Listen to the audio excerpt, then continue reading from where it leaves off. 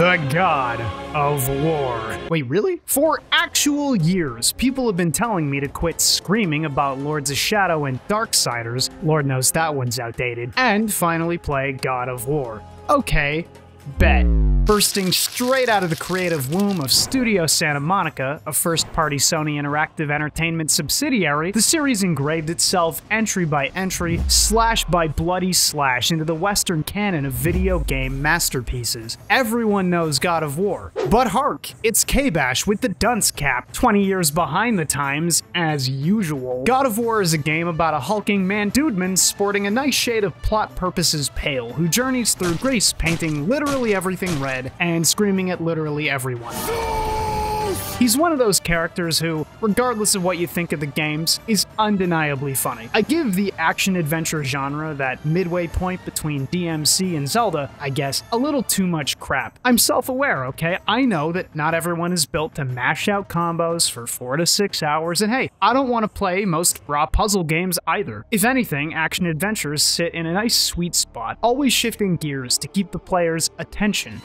Pay attention, ADHD kid! And spoiler alert, that's God of War in a nutshell. It's not the first or only series to offer a gameplay smorgasbord, but damn it, God of War packaged it right. If you're wondering where all the other games are, I'll cover them another day and keep things neat. The original trilogy traces an interesting design lineage and a linear story regardless of prequel titles, and the eventual new direction the series is currently charting. But enough about that. I want to press the buttons. I'm gonna press the buttons.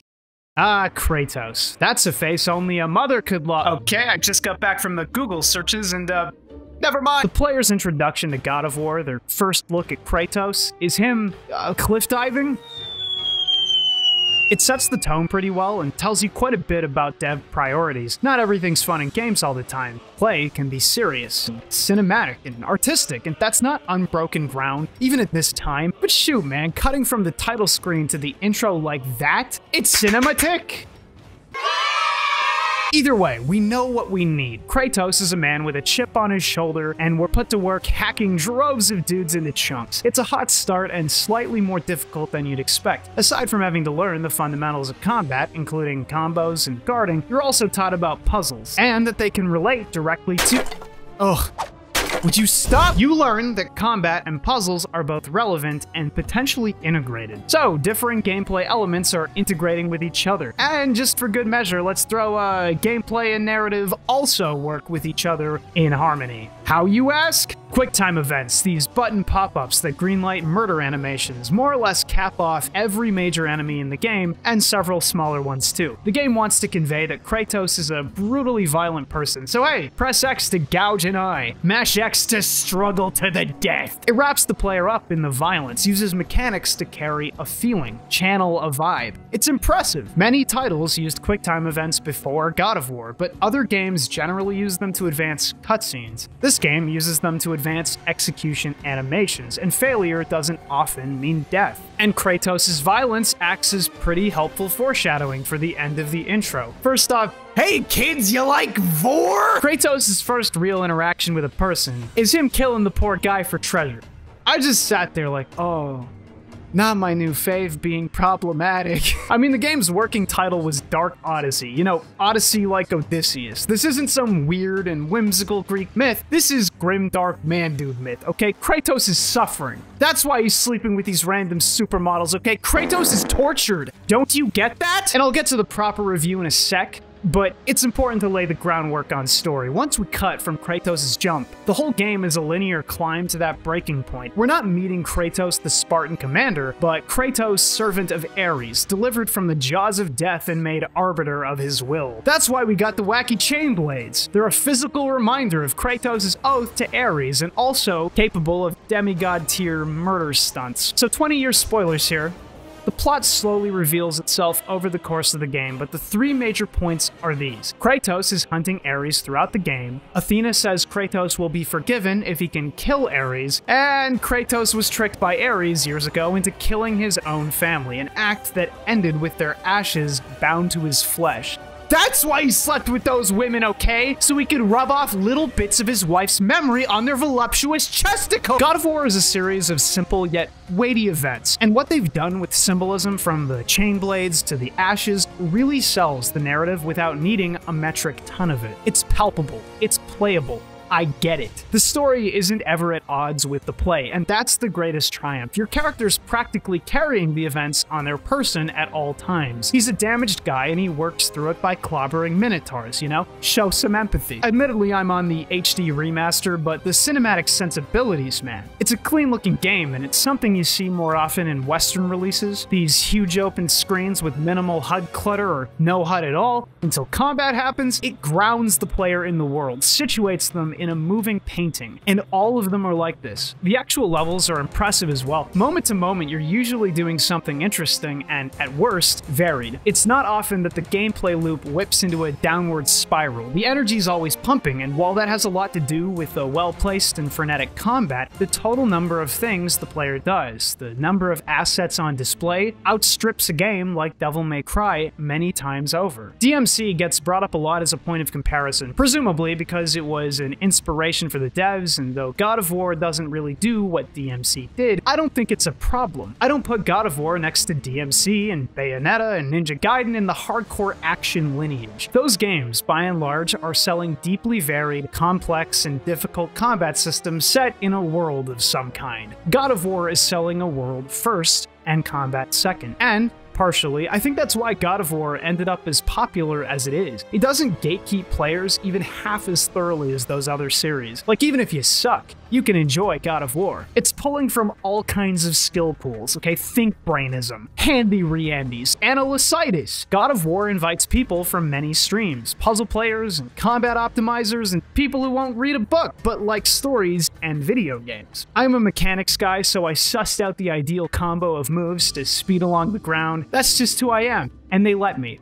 Thank you. As an anti-puzzle guy, I made do. They're really not so bad. In fact, the frequent diversions in God of War feel meaningful and intelligent in a way I didn't feel other God of War clones managed to emulate. It may be the incredible cinematic shots, or the simplicity of the diversions, or frequent gameplay variants and trickling upgrades, or even just the minimal game length. Thing feels good from start to finish, mostly. Of course, when I think of annoying diversions, I think of Darksiders 1, pulling out the Star Fox segment and then overlong gun runs. God of War doesn't often change up the basics, so the moment-to-moment play feels intentionally designed rather than stuck in to buffer a transition or something. Of course, it also feels immensely produced in a way that other games often don't. Playing it for the first time reminded me a lot of trying out Chrono Trigger and immediately, first level, immediately going, oh, I get it. So I'll just assume the budget was comparatively planetary and keep my dunks to myself. Now, God of War is squarely set in the aesthetic traditions of the West. It's far less willing to be whimsical or wacky, it's played straight, it's grim and moody, it presents a fiction instead of a fantasy. There will be no finding answers and setting the world right. Okay, regardless of any deity influence, this is going to be a fundamentally human story about pain, loss, and repetition. That said,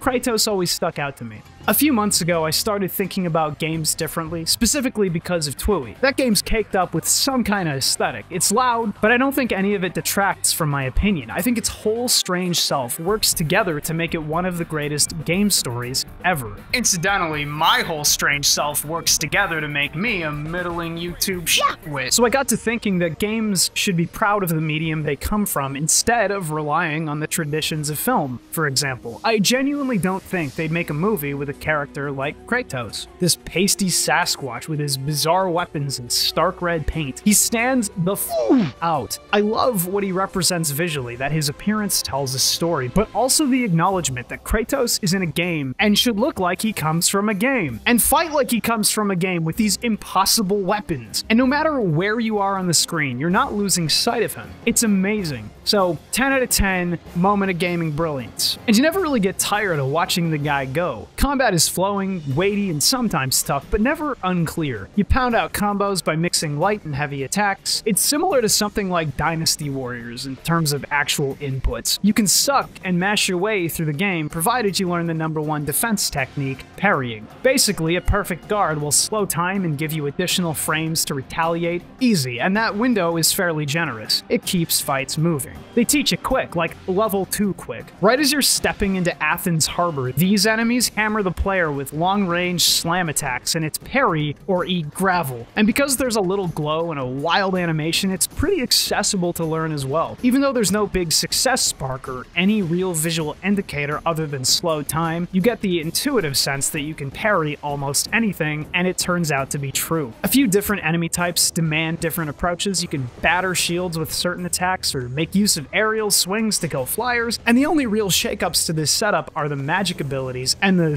pseudo devil trigger. So the latter. After beating enough ass, you can eventually pop a power-up move that trivializes combat just like Darksiders and other clones, but critically, this one fades very quickly and can't overturn most meaningful battles. So it ends up being an oh sh button, and I respect that. Additional smoothing options that err on the side of the player combat lube. There's also four magic moves Lightning Javelins for a good ranged option, Medusa's Head for easy, heavy enemy crowd control and shattering, a big AoE zapper, and a fire attack you don't get till very late. God of War has a level up system. You're made to plug points into your two weapons, into your magic, etc., but it rewards maxing specific ones first. So I figure most players opt to max the Blades of Chaos and one or two spells. The other main weapon is cool, but not necessarily better, especially by the time you get it. I think that's where the easiest gameplay criticism is. This is a prototype entry in a now long-standing series, and the combat is fairly unga. The level ups are fairly unexciting. You're definitely Kratos, but hardly your own Kratos. While God of War technically has bosses, they don't even approach what the later games did or action games do in general. The Hydra is a visual spectacle, Pandora's Guardian makes use of the environment to win because you're a Greek hero. I get it, and that leaves Ares. Where is that guy anyway?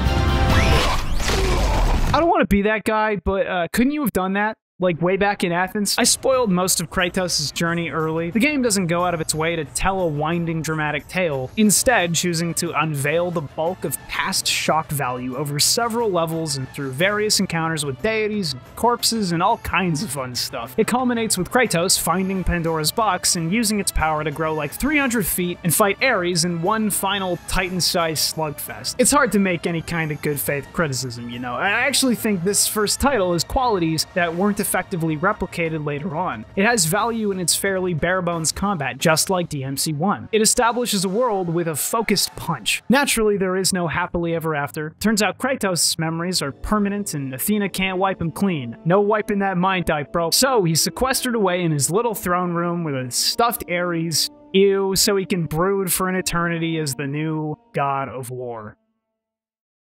I like the God of War method of continuity, starting up at the end of the previous game. Any player says, I don't care about story. Kratos says, read. so, I'm not a fandom guy. I played these games, but I don't really know what other people think of them except for vague review scores. God of War 2 is really weird. I look back at the first and think, okay, that was good. Hardly any annoying stuff except for endgame balance beams. I can walk a few beams. Ah!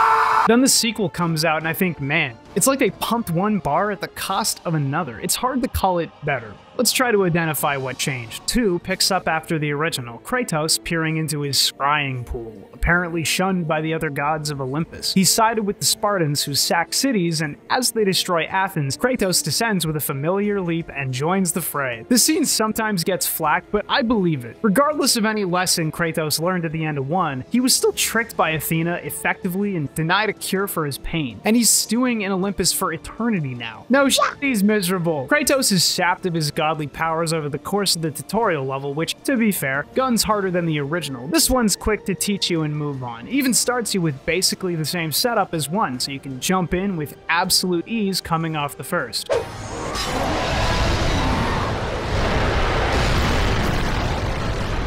This stuff is what God of War excels at. These dramatic and cinematic segments of play set amidst some looming threat or imminent danger, regardless of any assumed adjacency. To the DMC hardcore action lineage, God of War managed to sell the big screen experience at home. Now I'm the only person I can blame for the mountains of floor corn. It's pure spectacle. The sheer number of assets created and discarded, lost in the shuffle, it's impossible to actually capture the true God of War experience in my format. You just can't taste the flow of the action without playing the thing. Ultimately, you regress to mortal status. Zeus 1v1s you now that it's safe. Zeus, you're like a pro smasher playing his main against his hometown friends. Grow up. And you're nearly killed, only to be given new purpose through Gaia, the ancient mother of the Titans. Oh, we're hunting gods now! Okay. Sequels are fun because you can see what either the devs thought should be changed, what publishers wanted changed, how old design elements interface with new ones, etc. It's a cool look into the minds behind the creative process. For example, someone decided the ground speed moving combo was bad and removed it. Whoever did that, you. Not a lot fundamentally changes between these two first entries. You're still doing the same stuff, level over level, okay, bashing dudes' heads in, like all the time, completing little puzzles and little scenarios, and having a minor think sometimes, and powering up your arsenal to deal godly damage to various mythological creatures and men. Yes, the levels are still gorgeous and must have either burned PS2s alive or the devs were wizards with a lot of coin. Either way, it's stunning. Stages are just as varied as before, though some of the challenges get a little weird and hard to understand, or just verge on frustrating. I definitely stopped more often in this one than the first, and never because of combat difficulty. It was always because of a needlessly stiff puzzle segment or confusing presentation, but that's the nature of the beast. I am gonna funny scream. The action adventure doesn't care how much you love to schmoove. Pull out the old microwave and get cooking. Or in this case, mashing. By the way, carpal tunnel people, you having fun yet? Combat is weird on second pass. Like, in one, things are simple and clean. Just combo out and parry, occasionally roll. I found a lot of sections more strict. I had to parry more often, had to pay attention more often. Kratos loses some of his combo strings and options from the previous entry. I figure it's because he was just efficient as hell. Dude could do anything convincingly, and it made the combat easier in places than you'd expect. 2 just doesn't hit the same, and it's minor, not really a big deal, and certainly more pronounced after just exiting the first. So what issues did the devs address? I think the weakest element of the first game is a relative lack of bosses. Yeah, you've got a Hydra and a giant undead Minotaur, okay cool, but no Chimera, Manticore, no Scylla, etc, etc, and down the list ad nauseum. For a game keying into spectacle as a pillar of design, it's unfortunate that what appears to be the bulk of the budget is tied up in assets with few quality capstone enemies. God of War 2 changes that up, but in a way that fits the scenario. So no,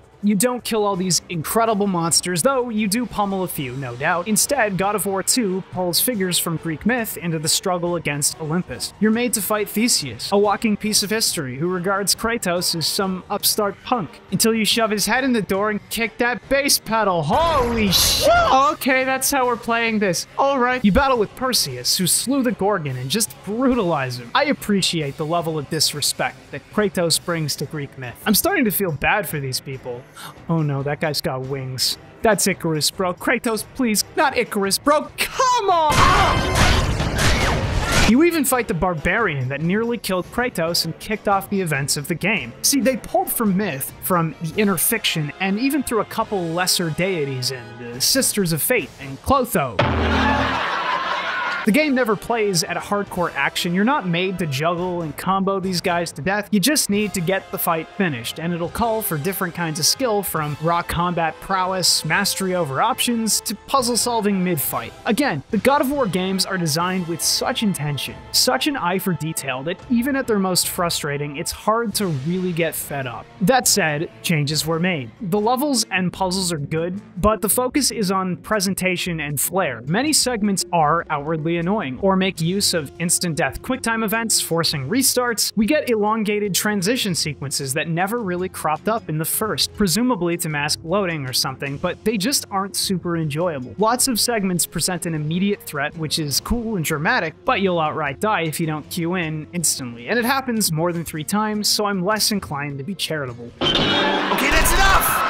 No more fun! This is all to say that God of War 2 follows the first, and it feels very much like they had to keep designing new challenges, like uh, some kind of modern day Sisyphus, and ended up overturning some of the experience. Medusas could petrify you before, but it was slow, and if you're not mashing roll in this game, you're done in a blink. So yeah, tighten to the breaking point sometimes. Combat does have one major mix-up though. The first iteration of Kratos feels a lot like DMC1 Dante in terms of options, and even more limited than that. So they added four weapons total and switched up the spells. Magic still includes a ranged option, an AoE attack, and Petrify, but your lightning attack becomes a series of placeable balls that can interact with each other. It's a good, quick move that helps improve the combat by granting light invincibility windows while keeping action flowing. You can actively avoid dodging and guarding by making clever use of magic. Weapons, unfortunately, don't reach the same lofty heights of other games. Let's see, we got Idiot Hammer, we got Late Game Sword, okay, and we've got World of Warcraft, the Burning Crusade Spear. Huh. You're stuck on one until you swap, and you're not allowed to instantly cancel out into a new one mid-combo without some trickery. And that's fine, no reason to ape DMC's bit, but it means that once again, you've got the chain blades, which you're already invested in, and then you've got everything else. And so I didn't really bother with the hammer, and only messed around with the spear after getting stuck in a single particular segment. Even though they're approaching something resembling cool, the blades are iconic and hard to dethrone. Nice that there's extra options for repeat players though. I respect the system even if it's more for fun than necessary. Oh, and Devil Trigger is back and slightly more usable than the first. Whatever, it does what it does. I don't know if I should be saying whatever about your game's power-up mode. The story is a continuation of the first game's events with thematic similarities. Kratos isn't working through his personal guilt as prominently anymore. Now he's fighting with Gaia to destroy Zeus, and mostly for revenge. The character shines here better than expected. In the first, he was cruel and misanthropic, and that's only been amplified by an unresolved pain and what he looks at as a betrayal from Olympus. In reality, Kratos is equally culpable in any on-screen villainy. Like Zeus might be a bad dude for more than a few reasons, but Kratos as a god was still abusing his powers beyond their intended scope, directly harming humans. He's a guy who had a purpose, had power, then lost it along with his autonomy, fought to get it back, ascended to godhood, then lost it all again. This is a power monger in search of a reason to live and not nearly enough intelligence or empathy. It's compelling as drama because Kratos necessarily cannot understand nor resolve the conflicts he faces without violence. I get it! We're playing a Greek tragedy here. Nice! And remember when the game turned into Dragon Ball? The chase ends in a battle between a freshly superpowered Kratos and Zeus. Oh my god, I see it now. This is where Lords of Shadow pulled the overly fast QuickTime event into instant death into loading screen and to repeat the scene. Wow! So 2 was fun. Enough outlier segments notwithstanding. It brought God of War into a more godly realm. It pumped the spectacle to the moon. It expanded player expression options and streamlined combat to maintain the integrity of the experience. Can I cup the balls any harder? So it turns out I missed the scene where Kratos has naked time with the bath women. I think what God of War needed most was a pissing baby statue whose stream flails wildly while you press X to come.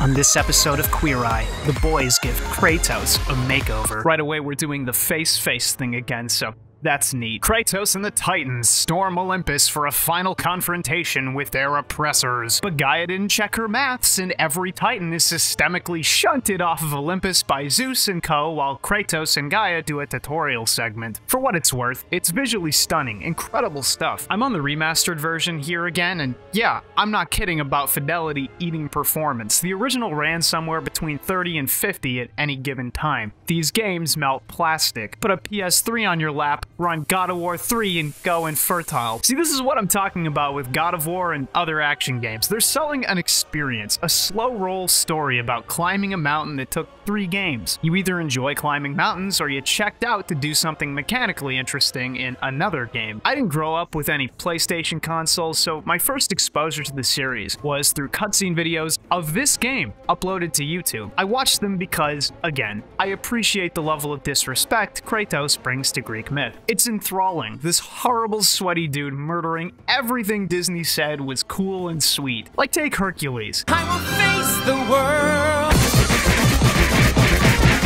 Let's see, Hera's an alcoholic. We are cutting off the sun god's head for a lantern. You know what? Kratos gouges out Poseidon's eyes and snaps his scrawny neck in the first 10 minutes, drowning the countryside and ruining Greece. So, so consider them stakes raised. Everything else, though, I don't know about God of War 3, guys. I just don't know. Something happened between 2 and 3, like the PSP game, for example. I'm not to complain about the environments or the puzzles too much, at least. 3 is basically the apocalypse, so everything is drab and moody, and there's a sort of pseudo-horror atmosphere dripping from the walls. And it's thematically appropriate. We went to Olympus, we basically saw heaven, and this is it. Hercules' head reduced to jam. Hera stumbling over her drunken self in a storm-beset garden. Nothing is pleasant about this this world. It's like finding out that your wildest dreams about hope and betterness and divinity were, in fact, dreams. The grit of the withering fiction flecks off and stings your eyes. Most environments are like this too. Few actual reprieves exist, and it's the kind of game I'm likely to avoid in the future, not because it's too much for me, it just isn't fun to look at. Since the game takes place in the realm of the gods and flits between Hades' domain and others, it feels like it could have been more whimsical, you know? Magical detours could take place. And hey, this game has no problem with breaking tone. It'll straight up throw a PlayStation button rhythm game puzzle at the player. Okay, Aphrodite exists, and we'll get there in a minute. Zeus is fought in a frame that transforms this monumentally important battle into a cheesy Street Fighter match. God of War knows it's a game, wants to be a game, but also plays directly into the cinematic, and there's a weird tension in this entry because of it. Even at their most campy, the other games didn't do stuff like this, but then they were color-drenched and the stakes weren't so high. It was always Mamma mia! versus the world, but now they're running out of time track is kicked in. And nothing about the basic structure of level traversal has changed. You still climb and jump and puzzle things out, platform along. Yes, you gotta light the way through the occasional dark section or run up the walls like Sonic! But it's the same game. The formula was always good. I think it's harder to get lost in God of War compared to Darksiders and Lords of Shadow, depending on the individual entry anyway. But notably, those games were trying to expand on what God of War mastered. And to the game's credit, most transition scenes were cut out, making the experience a pretty clean run from start to finish. The only thing I'm confused about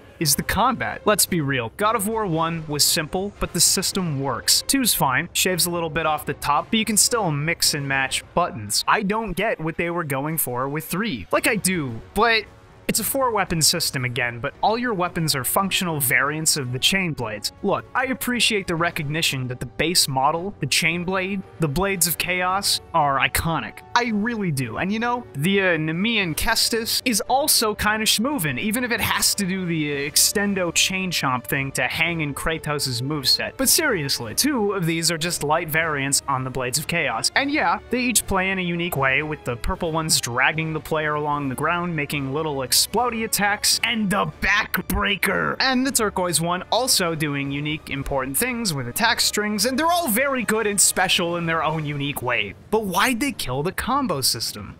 So, acknowledged, the game's combat is pretty inarguably better. There are people on YouTube who do insane things with this system, but to be fair, that's not the average play experience. In fact, it's really technically demanding and isn't necessary in any way to complete the game on normal or even above. But you can't start combos off of heavy attacks anymore, at least right away. And many strings have been cut, leading to what I can only describe as a really depressing baseline experience without some kind of external to the game tech skill. You literally can't mash Y into Y anymore. It's just one single heavy attack. It sucks. It feels awful. And it's especially weird coming off two games of a functioning system and being handed the streamlined model on the third go. Admittedly, you're meant to combo with one and swap to other weapons by using their special attacks, and then it makes sense why all the weapons are variation chain blades, because the visuals of swapping won't break immersion this way. You're always Kratos doing Kratos things, not, you know, swapping a spear for a hammer in a blink. I guess bottom line, they tried something new and different. It was good for a specific kind of player, and honestly, I would have had more fun with it if I were a little more interested in what they were selling. And it does incentivize meaningful and interesting magic bar usage, you know, not just hoarding it until you need it. It just feels bizarre to pick up after running the others. Like, All my old reliables got thrown in the trash. And like before, there's no real gameplay incentive to weapon swap except to dump magic power and maybe greenlight some esoteric strings. You can safely mash away with a single weapon and get plenty of combo points to spend upgrading your weapons. It feels like there should be a damage multiplier for swapping mid-combo if they're gonna curtail individual weapon utility just to have multiple weapons at all. Like obviously none of this really matters. It'd be worse just doing the same thing a third time with no shakeup, no innovation. I just want to be incentivized to engage with the systems and don't feel that way after playing. That's all. So if the game's shaking up combat and selling spectacle and wrapping up Kratos' arc, you know the bosses are gonna be fire. Huh, I didn't realize some of these were even bosses. Okay. 3 takes up the mantle of badass boss killing simulator, something the second started, but didn't push half as hard. And how could it? You were killing demigods and legends, but not the straight up gods of Olympus. I mean, minus Athena, but Poseidon, Hades, Helios, Hermes, Kronos the Titan himself, and Zeus. And some other ones that don't matter, you fight a plethora of relevant, interesting battles throughout the game, and I gotta tell you, this is where it becomes obvious that God of War has never actually tried to swipe DMC's legacy. The battles all sit on a sliding spectrum anywhere from cool to terrible. Poseidon's a wash, a total trip. You just bash his stupid horse and quick time event him to death. It's fun to watch, even a little fun to participate in. Press both sticks to gouge his eyes, but hardly a test of player skill. Hades is one of the better fights, demanding actual combat ability and pulling a God of War mid-battle shakeup to complete the fight. It's sufficiently epic for the scenario. I think Hermes is one of the worst fights. He runs around and socks you like a pillow full of potatoes, and the chase leading to him is beautiful to play through, but seriously, the fight is basically chasing a light-speed sandbag that hits back. Kronos is one of the most infamous battles and highlights everything you need to know about what the devs care about. Kronos is disgusting. You smash and rip off his fingernail. You like this? Do you enjoy looking at this? All the while, you're fighting hordes of meaningless enemies that are ultimately swatted away by the Titan Oh, fuck. and platform along his body until you can land a few QTEs. Is it bad? No, it's an experience trademark. It's literally what God of War was made to do. Keep the player saying, holy shit.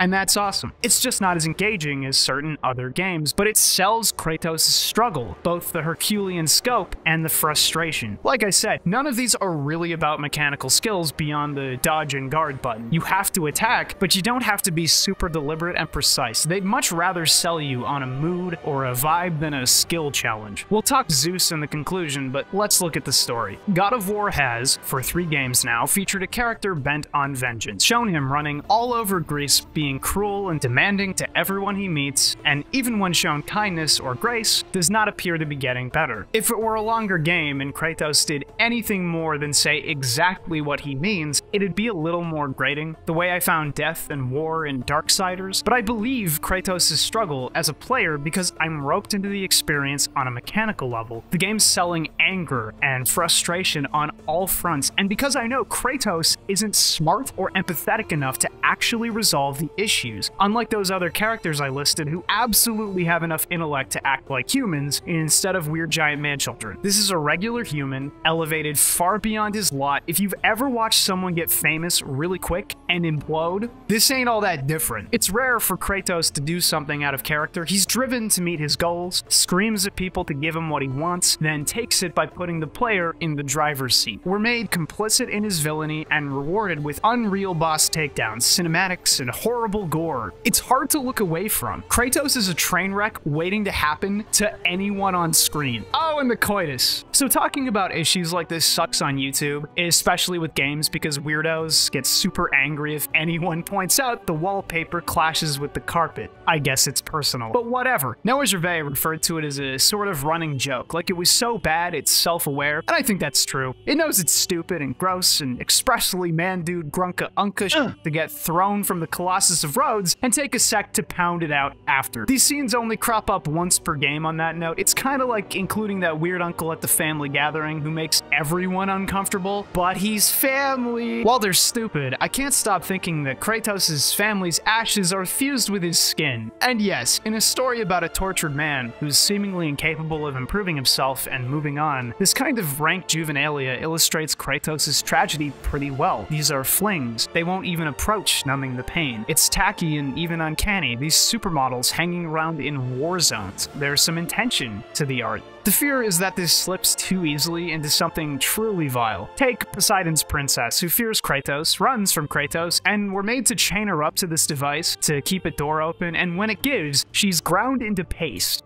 It's so bizarre and horrifying, it almost felt out of character. There I was, playing God of War, the so serious, it's goofy Greek myth game, and we're terrorizing fairly realistically acting NPCs who are trembling at the sight of the vengeful God of War. It's hard to even call Kratos an anti-hero. As far as I can tell, he's pure evil. I had a moment of revelation like, oh yeah, Kratos was never good, only in moments, and only for his own.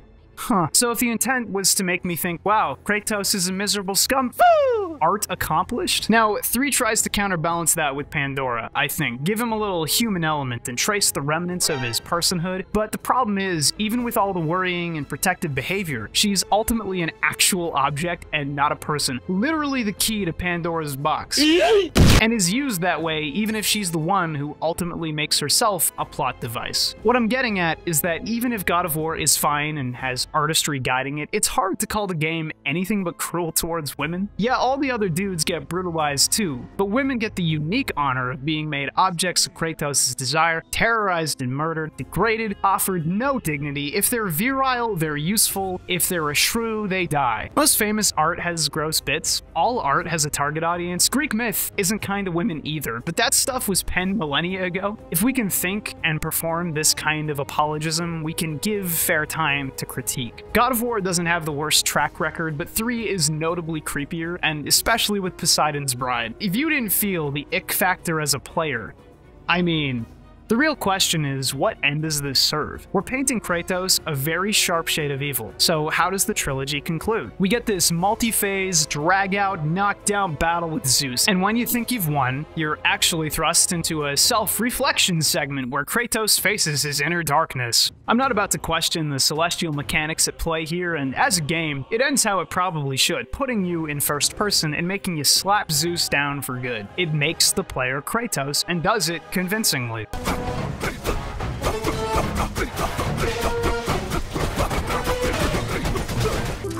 Athena says, locked somewhere deep inside of you is the light of hope. And that's one hell of an airy message to go out on after piling a legendary carrion feast behind him. And to cut a lot of shit oh. short, Kratos stabs himself with the blade of Olympus to effectively deny Athena's machinations and hand over the power of autonomy, hope, to mortals and free them from the yoke of the gods. He effectively ends the age of the gods in Greece, at least. It makes sense for Kratos, one who despises the gods and his own deification, one who lost everything to them, and recognizes, at least, that power is a problem. I just don't believe Kratos. This development seemingly happens after Pandora sacrifices herself and Athena attempts to manipulate Kratos. It feels like his Unga ass made a lucky guess about her plan because of his adult oppositional defiance disorder, or that that entire journey through fear or whatever, Trademark hyper accelerated his growth out of nowhere. But whatever, game stories don't always pan out perfect. It ends how it should, even if I wish we felt more of Kratos' development. He's still actively terrible throughout most of the game. So that's it. that's the God of War trilogy. An angry, shrieking piece of genuine technical artisanship and quality storytelling that's arguably kneecapped in a few places, none of them hard deal breakers. I might cringe at some of the content I just talked about, but that's not reflective of the gameplay or the series as a whole. It doesn't totally mire the experience, and has little to do with where God of War is headed to today. That said, while I loved the spectacle and probably used the word 20 times, I don't really feel Kratos as a character, the same way I don't really care about Oedipus or whoever from Greek tragedy. Like, yeah, this guy sure does suck, and these scenes sure are interesting, but I'm not weeping out here like it's Nier Automata. Well, I'd love to look at the other games, but let's be real. Those will get 60k max and die off in a month. Hey, it's K-Bash. Huge thanks goes out to my $4 patrons. Check them out. Beautiful. And double special thanks goes to my extra generous patrons who are Adam Welch, Acropolin, Alex, Alpha 42, Arch, Azura, Axon 8, Azuas, Bear Skeleton, Basement Dweller, Bearkeeper, BZ Soul, Ben M, Bing Bing Doodoo Oingo Boingo Time, Blake Against the Machine, Bohawk, Boom Dead, Brios, Brianna Wu, British Gooch. Cow. Can I cuss on Captain here? Blasty. Captain Wade. C-Dub. Caesar T. Chiefy Boy. Cordon. Chris Bromo. Cody Golding. Couch Moba. Corgi the Lad. Crater. Chrono 19D. CW Kyle Glassworks. Cynical. Daddy Dagoff. Dondium. Danny Lavelle. Denny Pangos. Dakota Storm Decky Jones. Steak. Swaggy David Bag. Castillo. Dara. Dakota. Dead. Dennis Amaya. Diablo. Dingus Bat. Doug Prince. Dr. Cullen PhD. DSChabano.com. D. Terry M. Dylan Coffee. 8-Bit Elias. Elpio. Elsa. Emperor Pickle. Aesthetico. Everstone Isle. Exa. Gnar. Fupa Saiyan. Frankenstitch. Frisky Nippler. Glitchseeker. Nine Cat. Goose 6112. Gray, the darkest black. Gargory. Gucci Plank. Asi Ibrahim Tanirga. Hatsune Miku's Crack House. Archive. Beeman. Game and Station. Hex-Mex. Horn Tiger. Huey. I'm supporting K-Bash just because I wanted to make this part of the video longer. Ingenious I Clown. punched a sandwich. Irrational. Irradiated cherries. Dice Kyle. It's not bad. It's time to sue. It's not good. Ivy Ruth Langley. Jacob. James. Jason Lasky. Jaden. Jay Deus. JK Hedgehog. John Bo the Joker. Joke Frog. Jordan Joyner. Julian My Julian. Keegan Too Cool. Kata Snack. King Kuma. Clock Crated. Crazy Dark Chocolate. Kumi. Kais. Kyle. KZ Excellent. Lady Dentalian. Latrix. Laundry Mom. Lego Sid. Lethal Nibbles. Little Big Trouble. Loathsome Dung Eater. Low Fat Mogul. Lucas Boy. Lucky McSmucky. Mac James. Magical Madman. Mara Ganger. Hercules. Marsmugio. Maximilian Wolfgang Mike Niver. DeVere. Milky Moo Official. Monochrome Only. Modi. Mr. Dodongo. Mr. Whiskey 282. Mr. Yeety Dabface McYoink Bomb. Nyrenew. Nito Torpedo. Nico Puzzle Rack. Nuri and Daridius. Not Nobel. Old Burgle. Old Man Cranberry. Omni Nerd Zero. Omni LK. The Plant. Pandemic Cowboy. Pinata. PK Gaming. Pontus Reddin. Popular Hitman. Potato Gaming HD. Prismatic Dan. Fractal and. Quasar McDougal. Quillworth. Quinn. Reasonable Willow. Reggie Rodriguez. Renteca Bond. Ricochet Frame. Relay. Roy Londo. Ryan Maury Brooks. Siren Smells Good. Salty Smasher. Scribe Slendy. Sakai no Award. Shinigami. Silver Bear 909. Sing God. Sleepy Wabbit. Sock'em Boppers. Suckdolager. Space Lizard. Spooky Grimalkin. Squidget. Squishword. Storm Strider. Streetums. Sublime Cataclysm. Super Sandwich Guy. Harvold's Quest. George Chubbington. The Big Bubby. The Clown Prince of The Cringe. Digital The Dutchman. good Lord has blessed me. hallelujah! The. Green Loki. The Peacemaker Pyro. The Salt Knight. Dick Mystic. Thrips Heart Tiggles Drop. McGuffin. Timid the Writer. Turtle Play. Travis Edwards. Twiddle Chungus. Ty Guy 9001. Vid. Valenris. Venom. Vice Puck. Viewers like you. Vic. Waposa. Weed Trash. Well. Waylon. Where am I? Help. Ouija. Winter Solstice. Win TV. Zanny Tanner. Yashichi. Yate Kundo. Your mom, Wiki Zachary Livesey. Zachary V. Zanasso. Zane the Impure. Zane the Pure. Zed Slayer Gamer. Zero Salazar. Sylvan Ray. Zenova. Cyberpunk. If you'd like to help support the show, unlock new long form projects, and help me keep improving, check out my Patreon. We got lots more videos in store. Stay tuned for more. K Bash out.